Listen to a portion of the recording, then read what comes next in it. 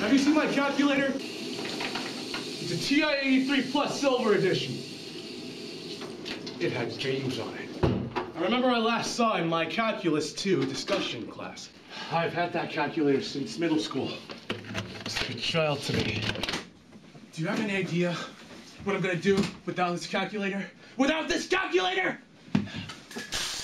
Look outside! My calculator could be anywhere out there. Do you know where it is? It ain't in here. It ain't in here. Hello? I gotta find it!